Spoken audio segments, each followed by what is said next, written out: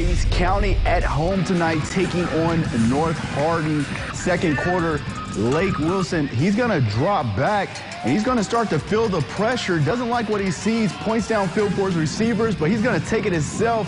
He's going to pick up 20 yards and that first down. That's a big game for him. Later in the quarter, Bryson Parm, as he's been doing all year, he's going to get the handoff and take it in for the easy two-yard touchdown. They're up 27-13. North Hardin's Jacalyn Kirkland finds Sean Boykins, who stiff arms his defender, cuts upfield for a pretty nice gain of his own, takes a few people to get him down.